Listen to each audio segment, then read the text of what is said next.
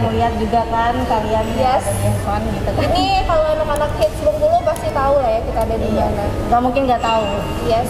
Sebelum ngobrol lebih lanjut, nah kita mau izin nih teman-teman kita mau buka masker karena kita udah prokes juga ya dari pagi, eh dari pagi, dari, Dari masuk datang, tadi. dari masuk itu prokes di sini udah ketat banget ya dari cuci tangan, cek suhu tubuh dan semuanya udah tersedia. Jadi kita izin mau buka masker biar lebih enak ngobrolnya. Biar kelihatan juga mukanya. ya. Oke baik, nggak mau bazir bedaknya ya Bu. Udah, udah. Selamat pagi. Pagi, iya, pagi. Bapak, Ibu ya. Bebas apa saja, iya.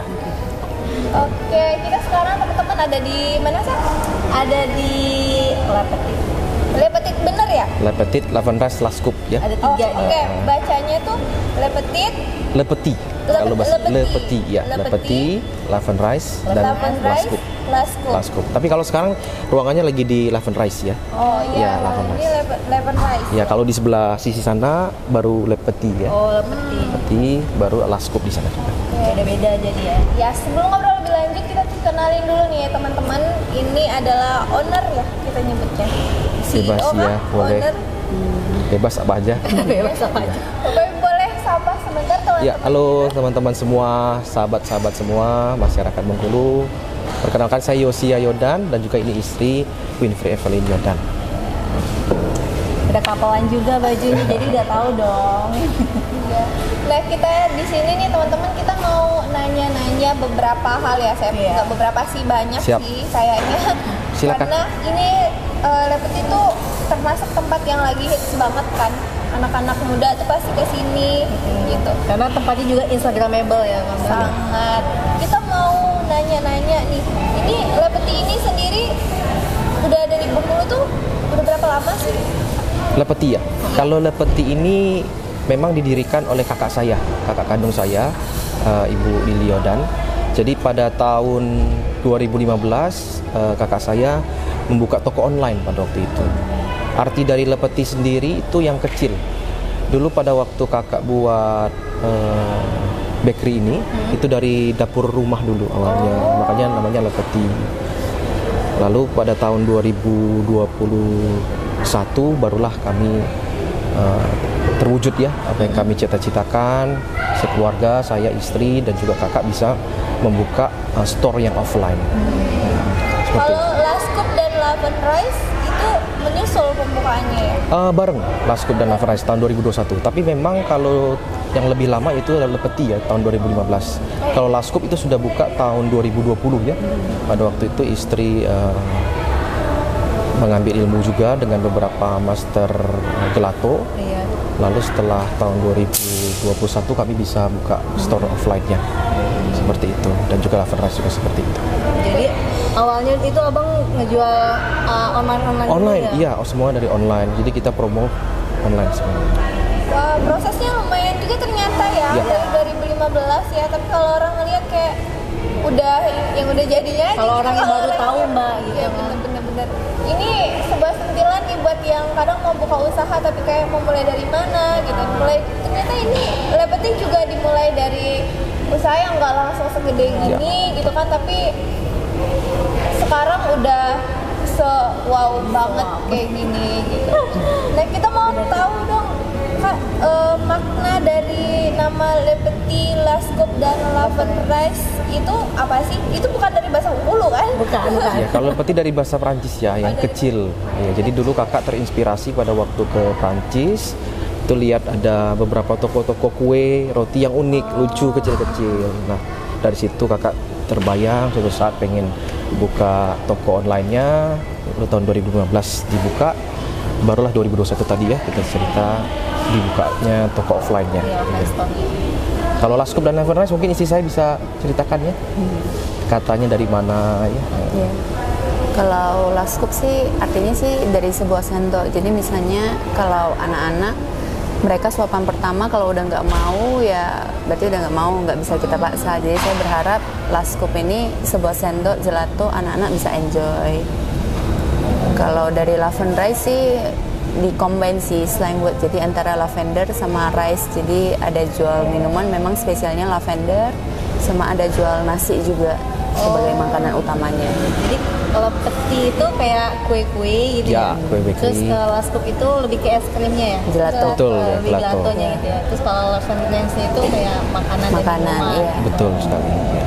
Jadi ini juga yang harus uh, kita sampaikan kepada viewers karena kan mereka juga Iya. kadang masih bingung kok Siap. bisa tiga.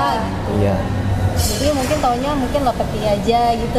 karena kalau tempatnya satu ya kan kayak seperti terlihat satu kayak dari luar kayak kantor kita nggak sih kayak satu gedung itu padahal di situ ada BTV, B koran, B Iya, online betul, gitu. iya. Nah kalau di sini tuh ada tiga pembagiannya dan itu udah jelas banget ya kalau mau gelato, kayu, kelas cup, kalau misal mau eh, nongki-nongki sambil makan Makan makanan yang ringan ke lepeti gitu kan. Kalau Ya. misal mau makan berat ya ada lepet Jadi, rice gampang. Eh, Sebenarnya udah kakaknya juga ya. uh, menyediakan semuanya gitu maksud aku.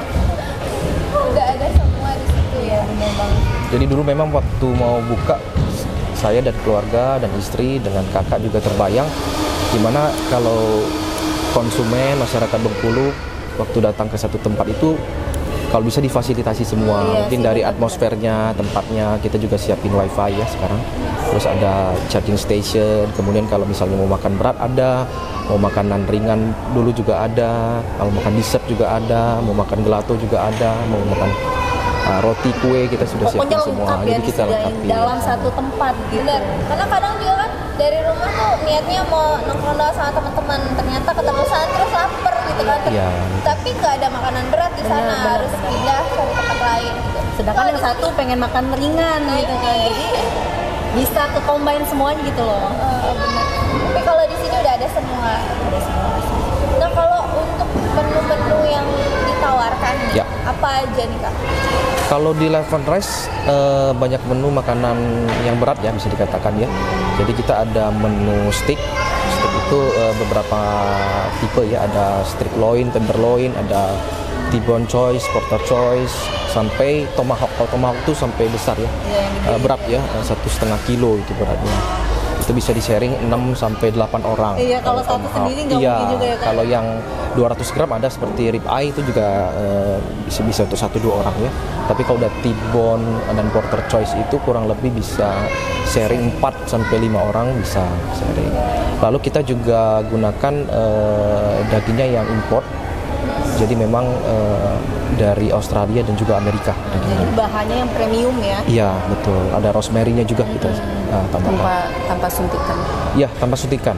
Jadi dagingnya Jadi itu benar-benar betul gitu. betul sekali tanpa suntikan. Lalu kalau untuk menu andalan lain juga ada ikan salmon ya. Ikan salmonnya kita pilih yang Norwegian. Norwegian itu karena dia tidak amis. Iya. Jadi kalau eh, kita pilih yang Norwegian itu iya betul. Kalau yang Norwegian tidak amis, kalau yang mungkin tidak Norwegian mungkin sedikit lebih amis ya. Jadi kita pilihnya yang Norwegian. Kemudian juga ada menu-menu lain eh, di sini seperti pizza, yaitu kita terus eh, produksi setiap hari ya. Jadi kita tanpa pengawet semua. Jadi Dan- baru dibuat Betul sekali ya. Subuh kita siapin, pagi baru kita launchingkan. Jadi memang bahan-bahannya harus yang fresh semua. benar-benar. Kami tidak mau gunakan yang premix ya supaya eh, tadi ya healthy gourmet tadi ya. Kalau and Lifestyle healthy gourmet kita tidak ada MSG. Jadi kita mau berikan yang terbaik lah bagi konsumen. makanan sehat betul, juga ya. Betul, betul sekali. Konsekuensinya ada kalau misalnya bahannya eh, udah lebih satu dua hari ya kami harus ganti. Eh, jadi memang kami harus eh, berikan yang terbaik lah kepada konsumen. semuanya fresh Iya, ya, kita dijamin, fresh. dijamin. Kualitas mutunya semuanya terjamin gitu. Kami upayakan semua yang terbaik ya. biar nggak kecewa juga kan Iya, pelanggannya. Yes, bener.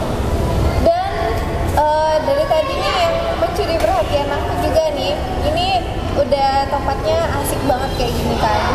Nih teman-teman free wifi dan charging station. Jadi kalau misal mau Ya. kerja, juga enak banget sih. nyaman banget nyaman kan. banget comfortable banget jadi kita mau menyendiri juga healing Iya, ya enak di sini setuju. Kayaknya ini cocok juga buat teman-teman yang mungkin kayak aku kadang lebih suka jalan sendiri gitu. Cocok sih Ya, jadi nggak harus nanti colokan di mana gitu. dan seperti kita lihat juga di belakang kan banyak yang juga bawa anak-anak gitu ya. Ya, ini sangat-sangat bersahabat juga tempatnya ya.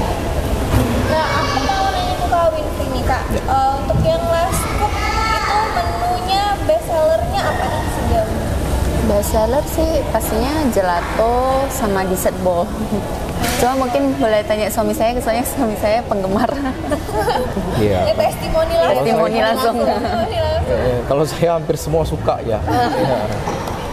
Ya, buatan istri apalagi paling suka ya. Jadi eh, kalau di gelato ini ada kurang lebih 50 varian rasa ya, gelato dan sorbetto. Itu juga tanpa pengawet ya sama pemanis. Jadi memang kita berikan yang eh, baik lah untuk konsumennya. Kalau saya sendiri sih paling suka sebenarnya rasa taro, talas dari dulu. Tapi semuanya sih hampir suka saya semua. Dan itu benar-benar dari bahan alami Iya. kan ya, dari pewarnanya juga gitu. Iya, betul. Nggak, nggak ada Enggak ada pewarna. uh-uh. Oh, jadi ada pewarna. iya jadi dia dari buahnya langsung Iya bisa betul, jadi gitu. warnanya dari buahnya langsung. Jadi kalau misalnya sorbetto, yaitu warnanya dari buahnya itu. Misalnya mangga, ya bener-bener sari buahnya itu yang kita. Emang itu cocok banget juga buat anak-anak mbak dari, dari manisnya ya dari Iya. pewarnanya kan karena makanan zaman sekarang kan udah Ya, nah ini ini yang harus eh, ditahu juga sama teman-teman harus paham juga bahwa kalau misalnya di sini gelatonya tuh aman buat aman banget gitu. jadi mau makan sebanyak apa pun juga nggak apa-apa kan ya Iya. Tapi kalau kebanyakan banget juga nggak baik sih. Minum air putih juga kebanyakan nggak baik. Gitu. Putra kami pun ini suka banget. Iya, kita suka. apalagi anak-anak kecil kan maksudnya jadi seneng Nah, kalau variasi harganya nih, mulai dari harga berapa nih? Kayak tadi kan katanya stick tuh ada yang untuk rame-rame juga Iya. gitu kan. Jadi aku penasaran nih, kalau misal kita mau nongkrong-nongkrong, bareng kawan-kawan iya rame-rame gitu kan. Itu kayak berapa sih Range harga. rame? gitu? Kalau ini uh, kita bahas stick ya, kalau bahas stick uh, range harganya itu dari 300.000 ribu, uh, 300 ribu sampai paling mahal itu tadi ada yang 2.500 ya. Iya, 2.500 itu tuh tomahawk karena satu setengah Oh, kilo. iya. Iya. Tapi kalau yang untuk harga 300 sampai 500 600 ribu itu bisa sharing sampai dengan enam orang. Wah itu worth jadi banget ya. It kalau rame-rame. kalau untuk menunya sendiri sih kita untuk makanan ada dari harga start 20.000 juga ada. Iya. 20, 30 ribu, 50 ribu. Makanan Indo juga Iya, ada. ada makanan Indo. Ada? Jadi memang konsepnya ada Indonesian food, Chinese food, Western food. Western food. Iya. Mungkin doakan tahun depan kita bisa launching Korean food nanti. amin ya jadi- Allah itu ditunggu banget Iya. Pecinta makanan Korea langsung iya amin. amin. Mungkin juga dalam waktu kurang lebih dua minggu lagi kita akan launching menu baru seperti lapien, dimsum. Iya. Nanti kita akan siapkan itu. Iya, karena juga dimsum. pecinta Korea di sini juga di Bengkulu lumayan banyak kak. Iya, banyak Banyak banget. Jadi harus naruh menu Korean food juga. Ya. Sorry kita ada satu menu yang Korean yaitu eh, Korean gochujang rice. Oh, Tapi iya. satu hanya satu Satu, untuk saat ini. iya. Sempat lihat itu. Yang mungkin nanti bisa di Bisa sini barbekyuan juga kali ya. Siapa tahu. Iya, mudah-mudahan ya. Mudah-mudahan ya kita doakan. Kita suka menjelajah soalnya kalau barbekyuan Nah, Korea ini. barbekyuan Korean tuh soalnya belum ada yang terlalu pas juga. Ya, belum belum nemu lah ya. Oke, terus apa lagi ya yang mau kebanyakan? Kayak aku udah kebayang-bayang makanannya deh. Tadi kita coba ya. Aku mau nanya ini kan di masa pandemi ini nih eh, makannya itu bisa dine in atau hanya take away aja gitu? Eh, sekarang sudah bisa ya Bisa untuk dine in. Sekarang Bengkulu juga sudah PPKM level 2 ya, Ah, tapi tetap prokes harus kita jalankan dengan baik seperti di depan kita siapkan tempat cuci tangan, mengatur suhu tubuh. Lalu juga di setiap eh, kursi sebenarnya udah di eh, ada sign-nya ya, ada sign boleh yang ditempati dan juga Jaga yang jarak. tidak ditempati. Nah, Yes. Dan juga para pegawai juga pakai masker aku lihat. Iya, betul. Karena emang menerapkan protokol kesehatan sekarang. Iya, kamu tadi dipanggil kan karena masuk ke cuci tangan? Bukan aku. Oh, bukan. Kameramen. Iya. Ya, jadi gitu guys. Itu tadi kita juga ada yang nyelonong nih masuk tapi belum cuci tangan tapi itu akhirnya dipanggil sama Pak Satpam depan. Karena emang harus gitu kan mbak. Ya, jadi penerapan protokol kesehatan di sini udah nggak diragukan lagi ya. Nah, Kak ini kan baru mulai buka lah ya store Iya, offline betul sekali. di Bengkulu. Di masa pandemi lagi Di masa Iya. pandemi lagi bukanya. Ada nggak sih kendala yang berasa gitu? Tantangannya ya, Iya. tantangannya selama pandemi ya kita harus siapkan beberapa strategi sebenarnya. Kalau misalnya nanti tiba-tiba level 4 lagi PPKM, berarti kita ya harus jual online ya. Iya. Maka memang dari segi produknya kami harus berikan yang terbaik. Jadi eh, masyarakat Bengkulu pada waktu datang mereka tidak kecewa ya. Kami kemarin pada waktu tanggal 14 Agustus soft opening memang masih banyak yang perlu kami perbaiki ya. Makanya eh, nanti rencana tanggal 25 Agustus ini kita akan grand opening. Nah, mudah-mudahan semua SOP itu sudah sangat baik. Jadi tantangannya itu ya saya rasanya. Pas nanti grand opening ada penawaran khusus nggak sih?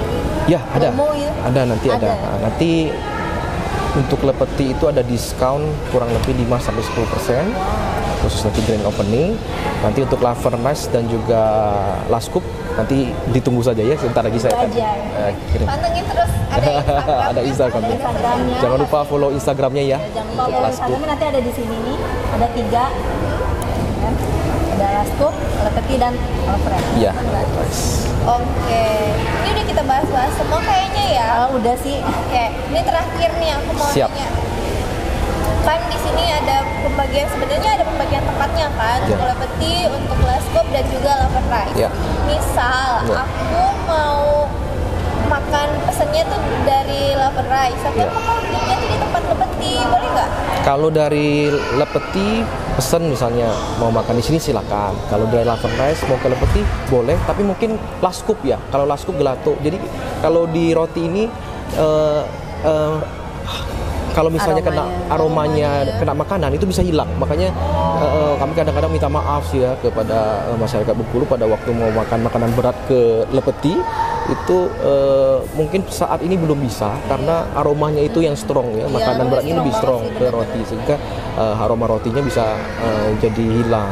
Makanya Aroma khasnya hilang. Betul, aroma khas dari rotinya itu hilang. Tapi kalau misalnya dari lepeti mau makan ke Lafornas, laskup sama, boleh. Ya, karena ini kan punya keluarga ya, keluarga ya satu satu jiwa lah ya, eh, untuk punya kakak, punya istri, ya, bisa sama semua.